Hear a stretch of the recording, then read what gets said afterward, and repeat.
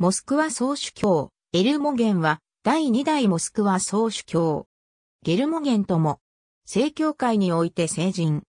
前任のイグナティを第2代として第3代モスクワ総主教と数えられることもある。火山韓国火山でドンコサックの家系に1530年頃生まれる。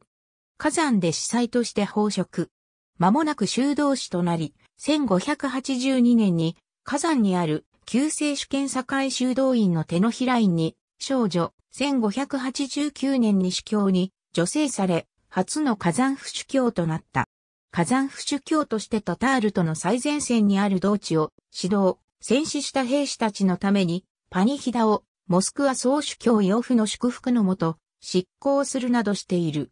1606年、モスクワ総主教に選出され、7月3日に着座。着座式は、モスクワのクレムリンにある生神女終身大聖堂で行われた。エルモゲンが着座した時期は、ポーランド・リトアニアのロシアへの介入と侵攻の時期と重なっており、国難とも言える困難な状況にあった。この時期に、ポーランドを支配していたジグムント3世は、ブレスト合同にも見られる通り熱烈なカトリック主義者であり、強固なイエズス会支持者であり、ロシアの征服とカトリック化を狙っていた。ロシアに侵攻し、モスクワを占領したジグムント3世によるロシアのローマカトリック化政策に対してエルモゲンは断固抵抗、ロシア各地に会場を発し、政教信仰を忘れた者を叱責。ジグムント3世、ポーランドへの抵抗を呼びかけ、政教信仰を守るように呼びかけた。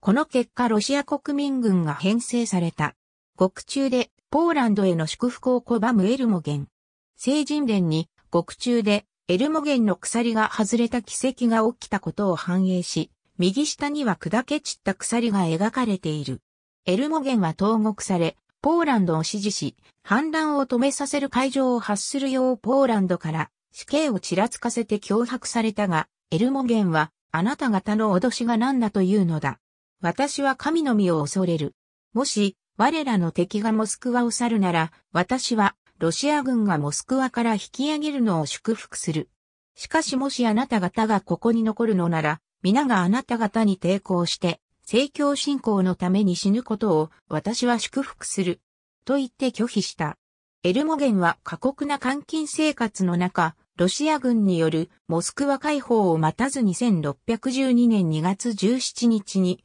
獄中で餓死した。ロシア軍によるモスクワ解放後、遺体は中土府修道院に埋葬されたが、1654年にモスクワのクレムリンにある生神女終身大聖堂に改装された。1913年5月12日に正教会で列聖された。ありがとうございます。